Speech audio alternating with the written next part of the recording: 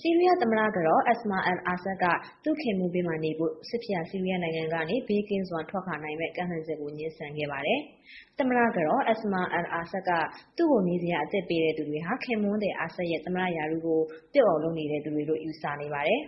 ဘယ်သူက ကမ်းလှမ်းတယ်ဆိုတာကိုတော့ ရုရှားနိုင်ငံပိုင် ရုပ်သံနဲ့ အင်တာဗျူးမှာ သမ္မတကတော်က ထုတ်မပြောခဲ့ပါဘူး။ဆီးရီးယားစစ်အစိုးရကို အားပေးတဲ့ မြင့်မြတ်တဲ့ လုပ်ဆောင်မှုတွေအတွက် ရုရှားကို ကျေးဇူးတင်တယ်လို့လည်း မစ္စစ် Assad ကပြောတယ်လို့ BBC ကနေ သတင်းရရှိပါတယ်။ကျွန်မရွှေဝင်းပါ။